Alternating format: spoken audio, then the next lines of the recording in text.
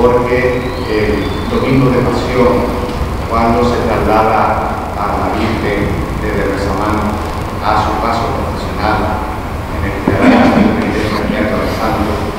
justo cuando la imagen de la, de la Virgen se sube a su paso, la capilla desde la altar mayor de San Pedro interpreta